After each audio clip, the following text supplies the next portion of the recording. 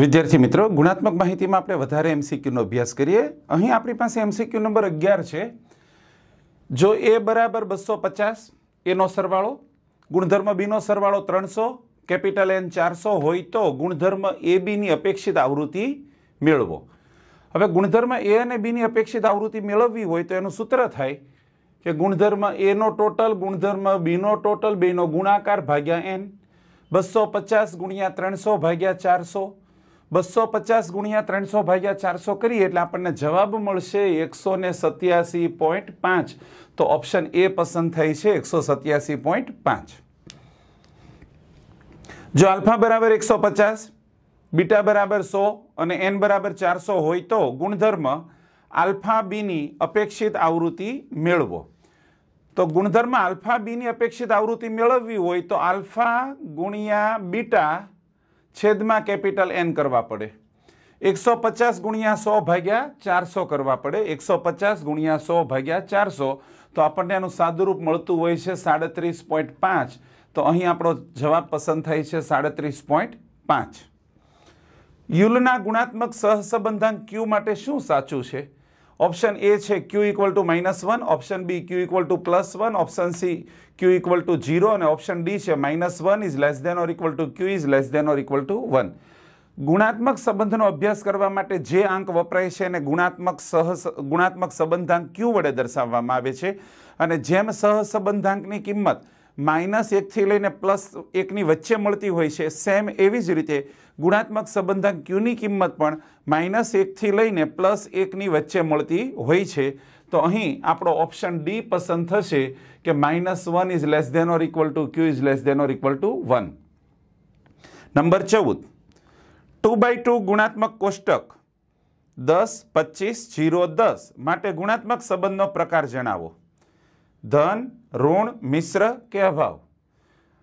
હવે ગુણાત્મક સંબંધાન ક્યુ માટે આપણે જાણીએ છીએ ક્રોસ ગુણાકાર થાય છે દસ ગુણ્યા દસ સો, માઇનસ પચીસ ગુણ્યા જીરો એટલે જીરો છેદમાં સેમ એવી રીતે બંનેનો સરવાળો થશે, સો વત્તા શૂન્ય. તો અંશમાં સો, છેદમાં સો સો ભાગ્યા સો એટલે ગુણાત્મક સંબંધાંક આપણને મળે છે પ્લસ એક. અને પ્લસ એક એ આપણા માટે ધન ગુણાત્મક સંબંધ બને છે, તો ઓપ્શન એ પસંદ થાય છે ધન ગુણાત્મક સંબંધ. નંબર પંદર. કે ટુ બાય ટુ કોષ્ટક ત્રીસ, એંસી, વીસ અને ત્રીસ હોય તો ગુણાત્મક સંબંધનો પ્રકાર જણાવો. ધન, ઋણ, સંયુક્ત કે અભાવ?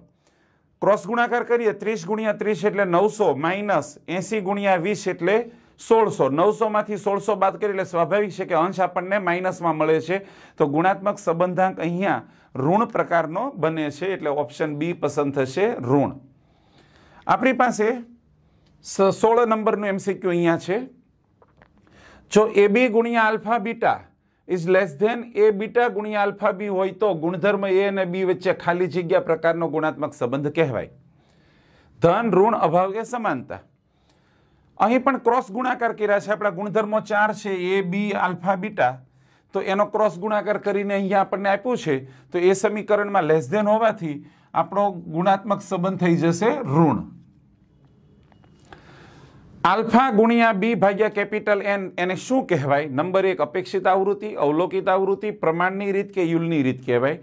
તો આલ્ફા ગુણ્યા બી, આલ્ફાનો સરવાળો બીનો સરવાળો ભાગ્યા એન, તો એને અપેક્ષિત આવૃત્તિનું સમીકરણ કહેવાય છે. નંબર અઢાર, યુલનો ગુણાત્મક સંબંધન ક્યુ બરાબર કેટલા? A B A B into alpha beta minus A beta into alpha B. A B into alpha beta વત્તા A beta into alpha B option A અને બીનો ભાગાકાર ઓપ્શન એનો બી વડે ભાગાકાર, અને ઓપ્શન ડીમાં લખ્યું છે કે ઓપ્શન બીનો એ વડે ભાગાકાર.